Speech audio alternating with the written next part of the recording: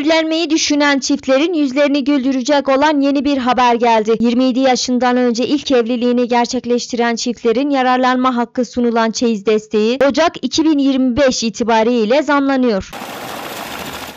Bankalarda açılan çeyiz hesaplarına 3 veya 5 yıl boyunca düzenli ödeme gerçekleştiren gençlere devlet tarafından 150 bin TL'ye kadar faizsiz kredi desteği sunuluyor. Ocak ayında birçok fiyatta güncellemeye neden olacak yeniden değerleme tutarı çeyiz desteğinde de yüz güldüren oranda farka neden olacak.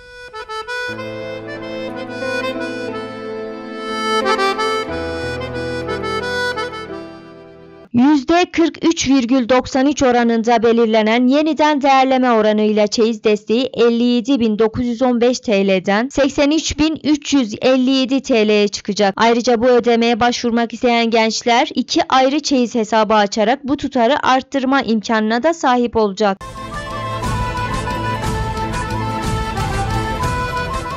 2025 yılı için belirlenen yeniden değerleme oranı ile aylık ödemelerde alt sınır 999 TL'den 1438 TL'ye, üst sınır ise 9991 TL'den 14380 TL'ye çıkacak. 3 aylık ödemeyi tercih edenler için ise bu rakamlar sırasıyla 4314 TL ve 43141 TL olacak.